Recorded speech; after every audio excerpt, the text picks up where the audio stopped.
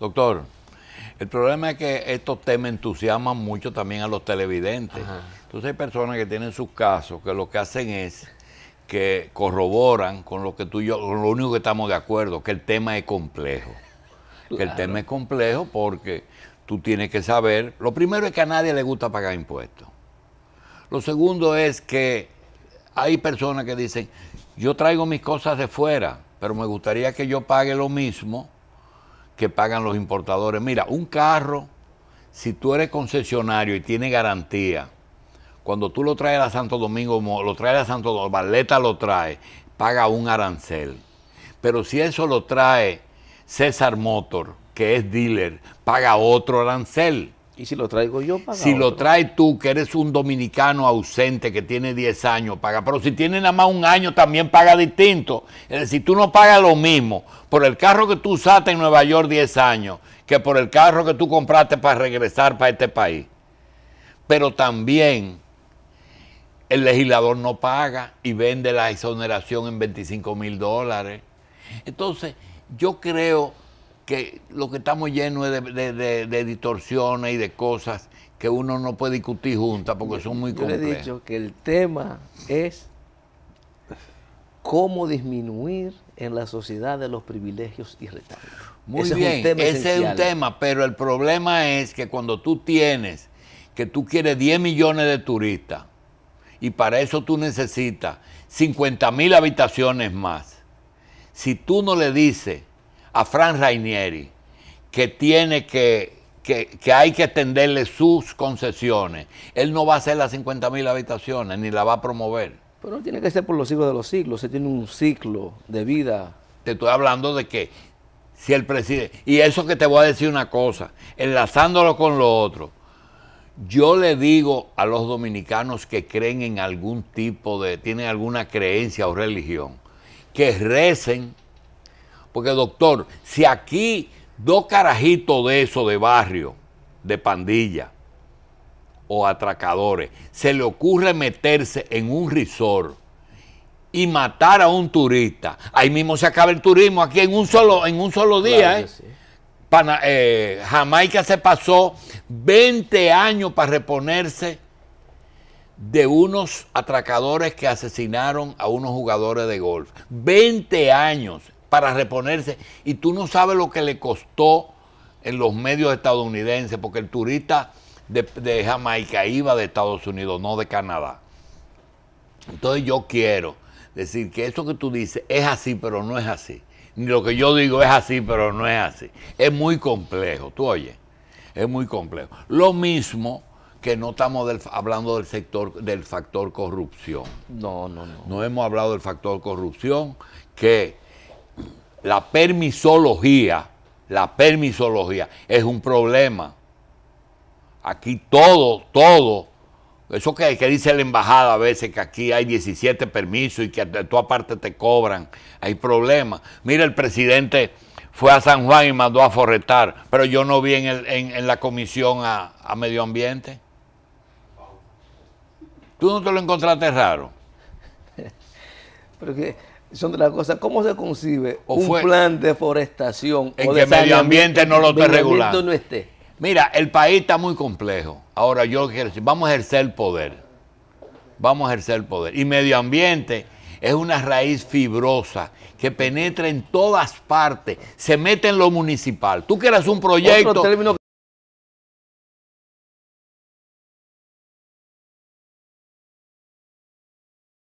y afecta a todo. Bien, señores, hoy es miércoles y deberíamos estar hablando de salud. Ayer invitamos al doctor. Salud, Esto es salud, salud económica. Señores, nosotros tuvimos ayer al doctor Contreras y yo le decía al doctor Contreras en la entrevista, si eh, por la boca entraban muchas infecciones, porque hemos visto que el médico infectólogo en los últimos días, antes era el médico general que hace infectología, ahora es una especialidad y ha pasado a tener mucha importancia. Y sobre todo, después que el mosquito se convirtió en una arma biológica de destrucción masiva.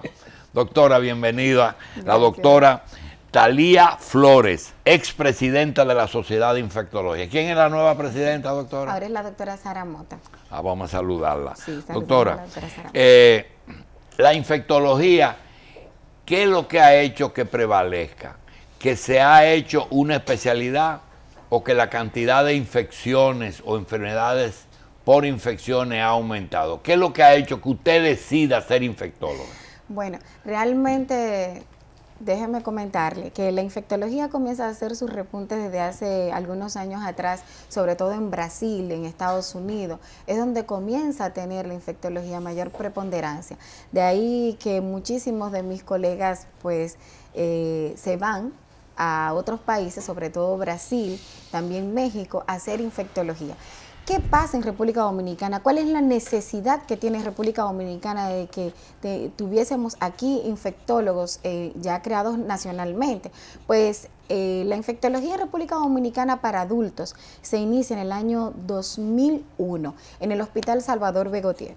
Se inicia ahí la primera etapa para tener sus egresados eh, nacionales. Entonces, sí hay que señalar que en República Dominicana la infectología pediátrica, pues de la mano de, del doctor Jesús Férez Iglesias, también tiene sus egresados desde hace unos años atrás, antes del 2000. O sea, antes del 2000 estamos hablando que para el año 1994, me parece, no tengo la fecha exacta, pero sí sé que la infectología de adultos de la mano de la doctora Mónica Torman y la doctora Rosario Valdés se inicia entonces esa pues temporada, podríamos decir así, de infectología del adulto. Y es precisamente la necesidad, no solo por el mosquito, sino más bien por todos los procesos infecciosos que de alguna u otra manera estamos repercutiendo sobre la población general.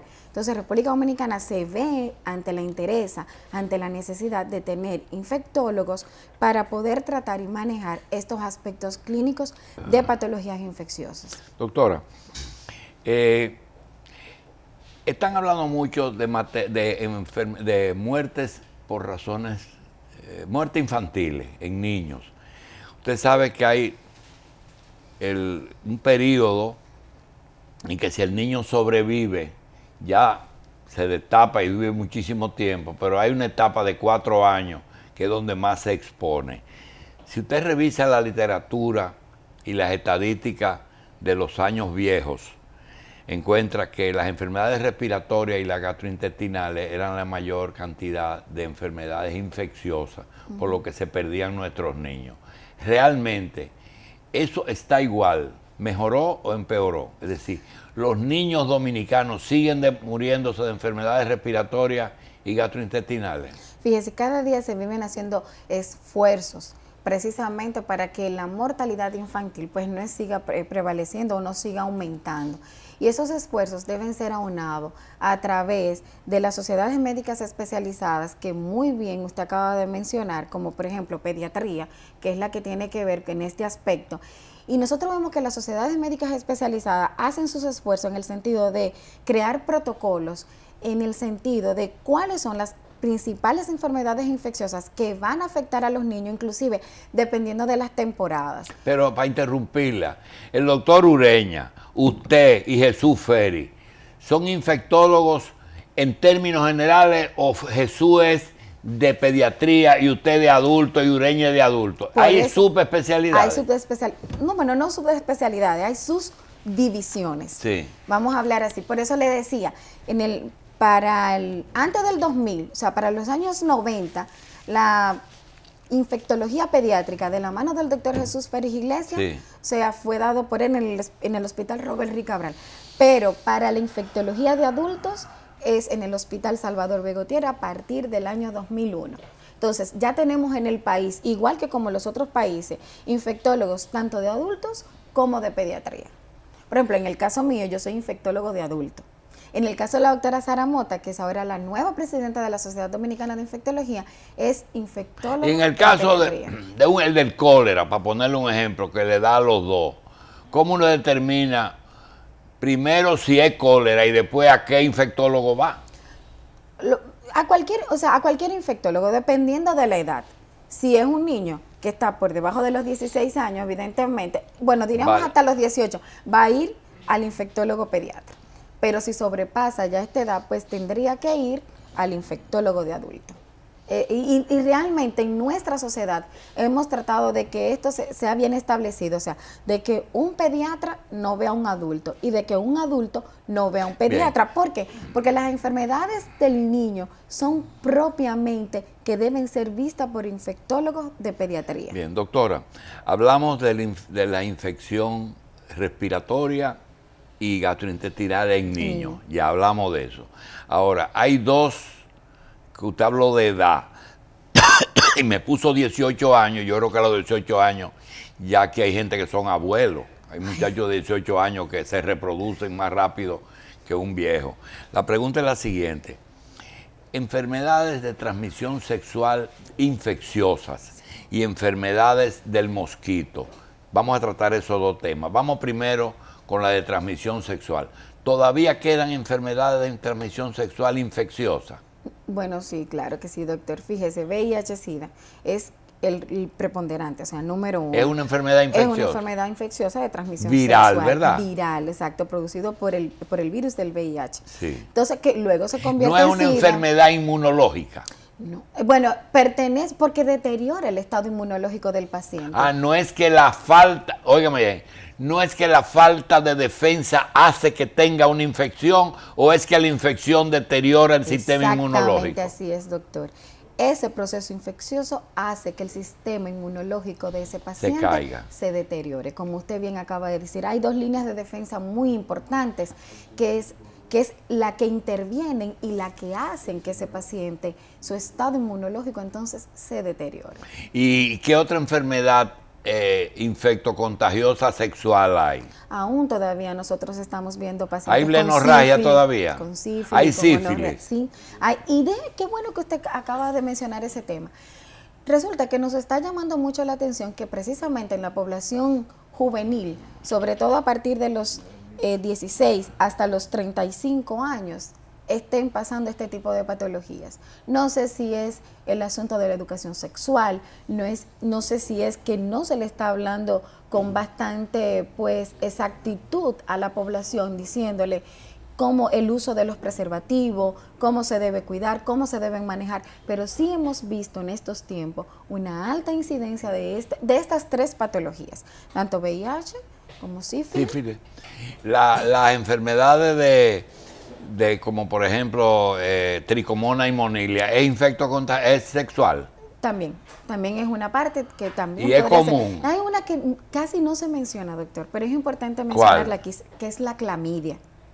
La clamidia es una enfermedad de transmisión sexual. Y es muy común. Es común. Y afecta a los dos sexos. Déjeme decirle, es muy común. Es muy común también en la población que acabo de mencionarle los rangos de edad. No podemos olvidar el virus del papiloma humano. Se registra que en Estados Unidos alrededor entre el 40 y el 55% de la población juvenil se ha expuesto ya al virus del papiloma humano. Para República Dominicana, que déjenme comentarle, en el área de la infectología hemos tratado también de recoger datos estadísticos nuestros para tratar de relacionarlo con otros datos estadísticos que son los que se presentan generalmente cuando vamos a congresos internacionales. O sea, República Dominicana en estos últimos tiempos se ha interesado por tener sus propias estadísticas en el sentido del área de la infectología. Nosotros podemos decir que sobre todo lo que tenemos programa y que vemos programa y dirigimos programas de VIH, recoger cuánta población está afectada, tanto de sexo, o sea, comparativo, hombre-mujer, edad.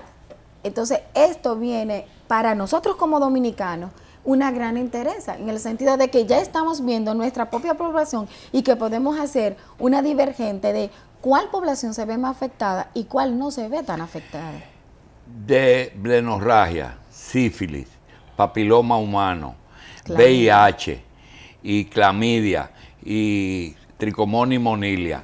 De esas, la única que hay vacuna ahora mismo es para el papiloma humano. Para, el virus para lo otro no lo hay. No lo hay. Doctora, hay un problema muy delicado y es de, de cultura.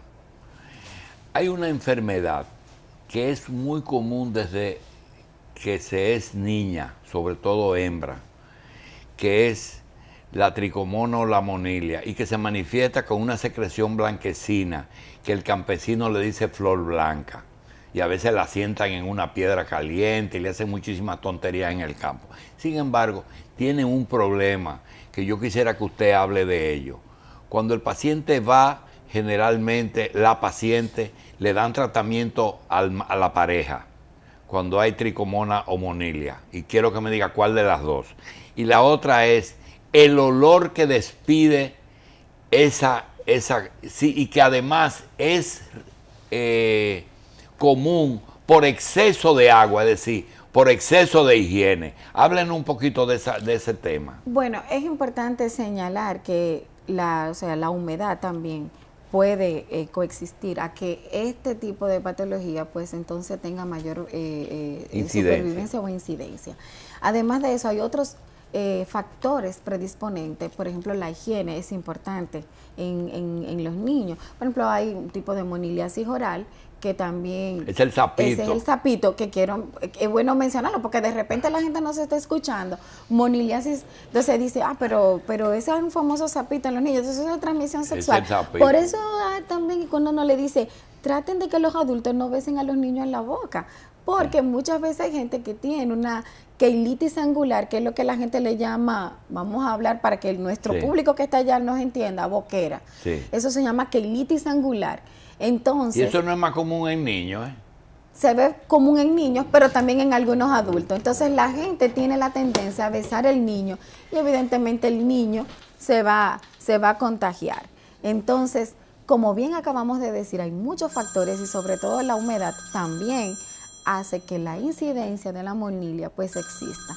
Y sí vemos en muchísimos, eh, muchísimas niñas y jovencitas pues que se presenta este tipo de patología. ¿Y el tema de la hepatitis? Bueno, hay, lo que pasa es que hay tres tipos de hepatitis, la A, la B y la C. Eh, con relación a la hepatitis y relacionándolo con el VIH existe lo que se llama la sugerencia o el programa de los tres. Y en el programa de los tres es el porcentaje de cómo la persona, o sea, el riesgo de infección.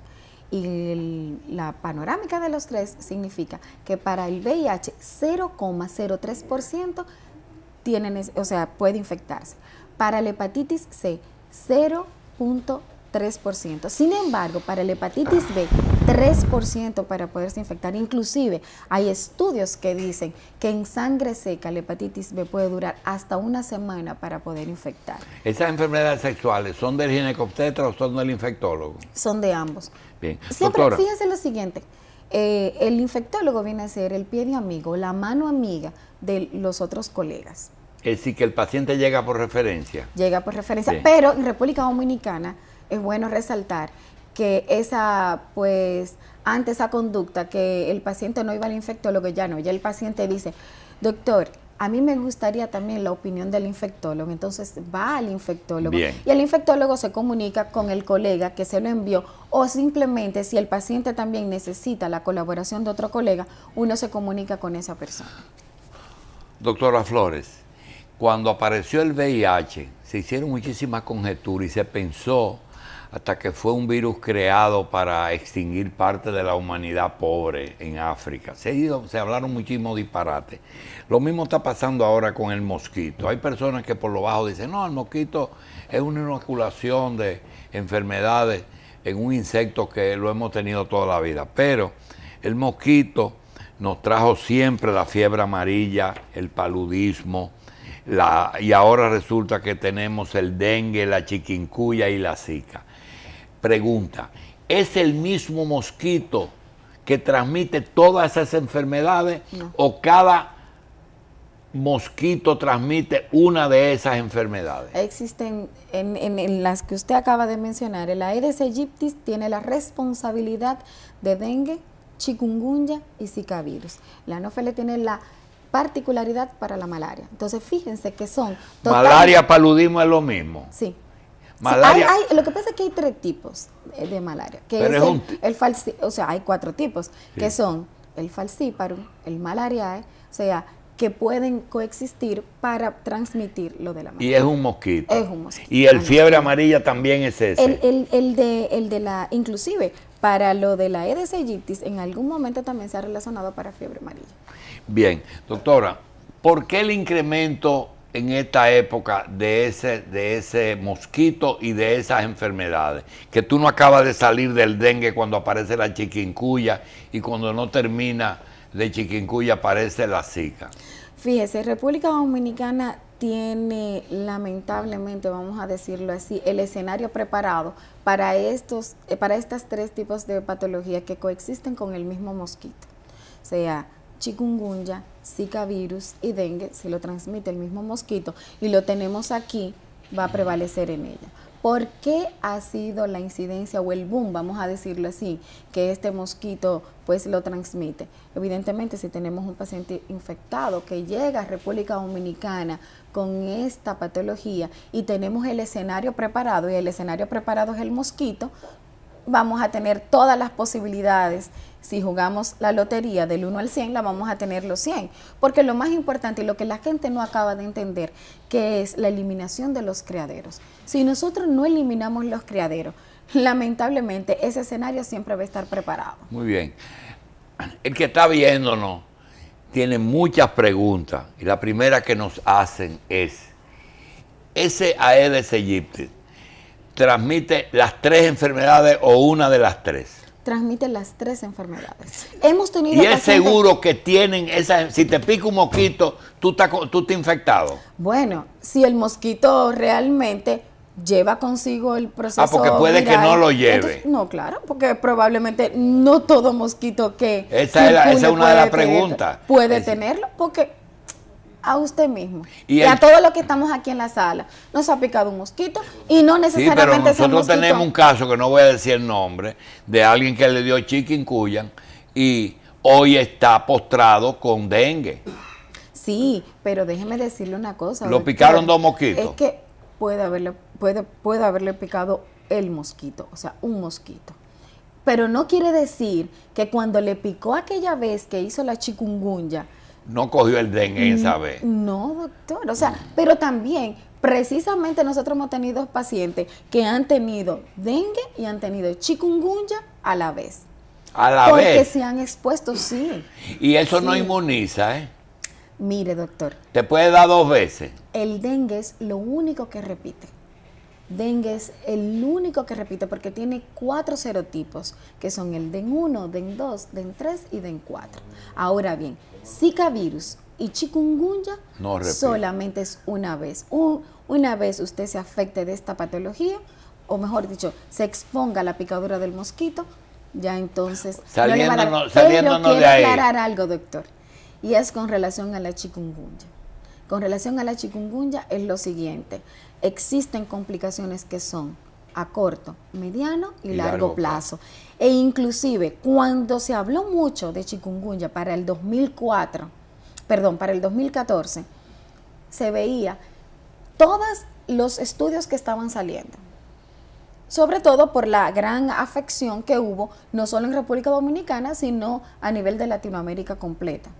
Entonces, ¿qué pasó? Estos estudios comenzaron a visualizar y a evidenciar que cuando se hablaba de que probablemente el paciente iba a tener el dolor de las articulaciones, que es de lo que más el paciente se queja, la incapacidad o la imposibilidad de poder caminar o de incorporarse, entonces vieron que estas complicaciones no solo eran por semanas, sino por meses. Ahora hay estudios que inclusive decían que eran hasta dos años, ahora hay estudios que dicen que dependiendo de la edad, dependiendo del sistema inmunológico del paciente y dependiendo también de las comorbilidades que tenga este paciente, usted podría extenderse usted hasta trata un tema que realmente eh, toca mucha interrogante, sobre todo en los medios que tenemos secciones médicas.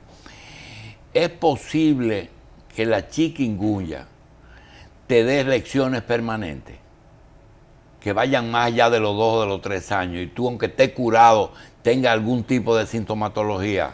Eso es lo que acabo de decir. Pero, pero más de dos años. Sí, eso es lo que acabo de decir, que para el 2014 existieron muchos estudios donde decían que solo era hasta aproximadamente los dos años. Hoy en día se sabe que hay otros estudios que dicen que pasan más de dos años, o sea, hasta cuatro años. Bien. Según vayan viéndose las patologías y se vayan desarrollando y los años hay vayan otra, pasando, se van Hay otra pregunta que es la siguiente. Una persona lo apica un mosquito con chikungunya y no hace la crisis de dolor, de articulación, no la hace. Pero hace cierta sintomatología latente como, como una pequeña chiquinguya, es decir, con síntomas a veces de calambritos, dolorcitos. ¿Es posible que haya una forma atenuada de la chiquinguya? Fíjese, la chikungunya tiene muchas variantes y muchos aspectos, sobre todo a lo que usted se refiere, lo que se conoce como neuropatía periférica. Exactamente. Que la gente siente corrientazo. Sí. Y dice, pero, pero no, tuve chikungunya es probable que haya tenido chikungunya y este paciente no haya sido diagnosticado por, como bien usted acaba de decir, es lo que la gente llama pues un chikungunya light. O sea, en el sentido de que... Lo que pasa con la epilepsia, doctora, que hay epilepsia que es petimal, un mareíto, y tú crees que el azúcar, que yo pero es epilepsia. ¿Es posible que eso se pueda transferir a lo que estamos hablando? Claro que sí. Nosotros hemos tenido pacientes, inclusive muchísimos también de mis colegas han tenido pacientes y en reuniones cuando tenemos la oportunidad de hablar de estos temas decimos, pero fíjate, tuve un paciente que tenía estas eh, sintomatologías y posteriormente pues le mandamos a hacer, eh, le prescribimos algunas indicaciones y tiene chikungunya positivo en el sentido ah. de que estuvo expuesto. Ah, Pero también eso va a depender, como bien le acabo de decir, doctor, del sistema inmunológico del paciente, de la comorbilidad que presenta el paciente. Por ejemplo, no, no es lo mismo un paciente que tenga grados de hipertensión, que tenga diabetes, a un paciente totalmente sano. Doctora, en el caso de prevención, usted nos ha dicho, nada más, la forma más común es la eliminación de las... Así es de los criaderos. De los criaderos. No hay otra cosa. Fíjese, doctor. Regla número uno, como dicen los, los americanos, o sea, el gol estándar. Regla universal y que inclusive OPS y OMS ha enfatizado durante todo este tiempo a raíz de la alta incidencia de dengue, chikungunya y zika virus es la erradicación del mosquito, la eliminación de los criaderos. Entonces, un problema, es un problema sanitario del Estado, ¿verdad? y desde aquí, doctor. Es un problema de salud y desde aquí comprometer, comprometer a los ayuntamientos. O sea, recoger la basura, eso es importante. O sea, nosotros tenemos que tener en República Dominicana un pueblo realmente interesado, educado, pero quienes nos están gobernando deben saber también cuáles son sus obligaciones. Ok, pero yendo a ese asunto, salud pública y, cabildo son los encargados de mantener limpio esos, esos Salud pública tiene su cuota de responsabilidad y los cabildos tienen sus cuotas también de responsabilidad, pero evidentemente la población total, todos nosotros debemos unirnos a tener un pueblo donde esté totalmente limpio, porque entonces tendremos mayor salud para todos. Doctora, sigue siendo el acetaminofén el tratamiento óptimo para la sintomatología. Sigue siendo, doctor, el acetaminofén. Pero la gente, por favor, no debe abusar de este medicamento porque posteriormente podría traer otros efectos. El antibiótico no debe usar. No, doctor, porque es un proceso viral, no es un proceso bacteriano. Bien, doctora, yo le quiero dar las gracias porque aclaró muchas cosas pero que ahora tenemos cinco o seis enfermedades por mosquitos, es decir, que tenemos que hablar con el alcalde que viene después de usted. Bueno, yo le, yo le dejo un que a lo mejor usted vive en ese, en ese sector. no vivo en ese sector, doctor, pero quizá le dejamos un buen escenario para que él comience a hacer un plan estratégico con la población al cual él tendrá que dirigir desde, desde, desde cuando asuma. Ese señor tiene problemas porque lo vamos a observar de cerca. Vamos a observarlo, claro que sí. Doctora, gracias. Doctora Talía Flores, expresidenta de la Sociedad Dominicana de Infectología, gracias por estar con nosotros.